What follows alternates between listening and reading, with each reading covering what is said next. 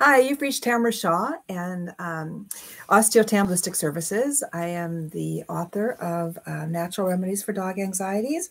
And um, today we're going to be talking about how, this is really super quick. We're going to talk about how, um, how your pet, not only dog, it could be cat, dog, horse, um, um, how how to know if your dog is feeling pain. And there are some things that are uh, telltale signs okay?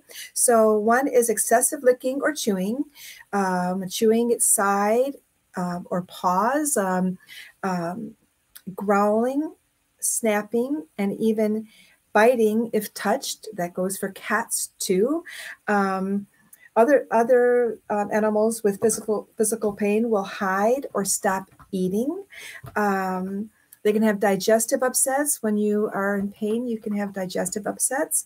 Um, you might the animals might pant.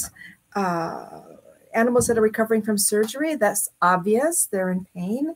Um, but other other types of physical pain could be like head bobbing when placing a foot down, uh, when walking, trotting, trotting, or cantering.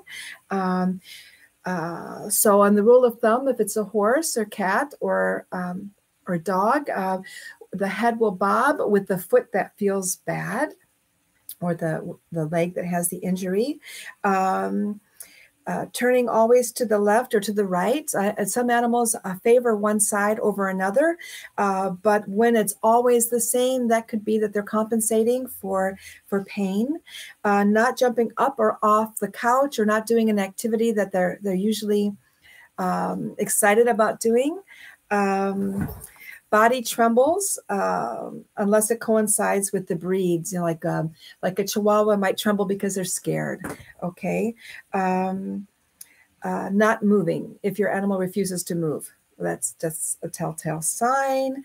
Um, and lastly, if refusing to do things that would normally it would love to do. If your horse loves to jump and it's refusing to jump, it needs to have um, a session.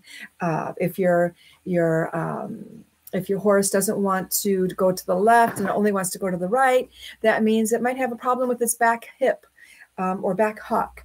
Um, an animal that refuses to jump might have a problem with the middle or the, the hind quarters or feet. Um, uh, but when you when when a, an animal jumps, it uses all of its body. Maybe it's more afraid of the landing. So um, so it's important to to um, to have a session. Um, there's, there's some other things to consider too.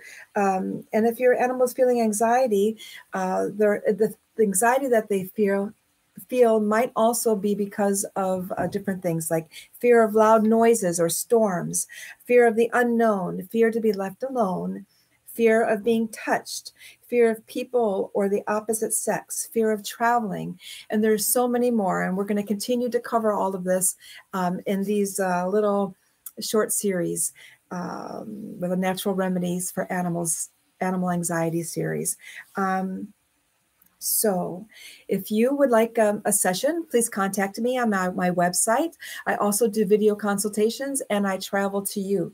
So, um, let me know what, what you, if, if that's something you would like to do by contacting me in that regard. Please subscribe and please like my videos. Um, I'm doing the best I can to help as many animals as possible. Um, thank you. Have a great day. Bye.